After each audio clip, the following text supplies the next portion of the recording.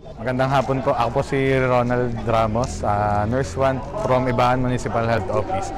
Ah, dito po kami ngayon sa Semana Santa ng Ibahan, Batangas upang ang role po namin dito is ah, medical team po kami na duty dito sa around Simbahan Parish po Ah, para po makasigurado lahat po ng mga bumibisita at nagbibisita iglesia, mga taga-ibang bayan, na mga taga dito sa bayan ng Ibaan, na safe po sila na in case po na magkameron sila ng health problem o sumama po ang kanilang pakiramdam, andito po ang Municipal Health Office para umantabay sa kanila.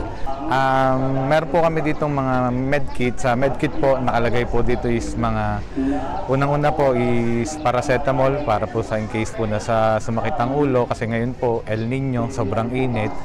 Ah, meron din po kami mga maintenance meds like po losartan, amlodipine, Ah, meron din po kami mga emergency kit like po sa mga bandage, ah, betadine for sa mga nasusugatan, sa mga nadadapa po.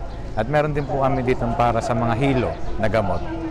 Ah, meron din po kaming ambulance in case po na talagang emergency cases po na hindi po namin kayang mabigyan ng lunas at talaga pong ano, eh, meron po tayong ambulansya na naka-ready po para magdala sa kanila sa hospital.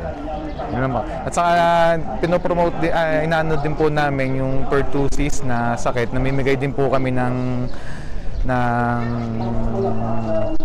face mask para po makaiwas po ang mga bata, higit po ang mga bata sa pertussis na sakit. Ay nag-spray din po kami ng alcohol sa mga matatanda. Ah, Andito po kami hanggang Eastern Sunday. Ah, bali madaling araw po, dito na po kami para magbigay serbisyo pa din po sa mga mamayan ng ibaan. Ah, health tips lang po from El Nino. Sa, kasi sa ngayon po nakaka-experience na po tayo ng matinding init o El Nino. Ah, lagi po tayong uminom ng madaming tubig. Kung dati po 8 to 10 glass a day, ngayon gawin po nating 10 to 12 glass a day.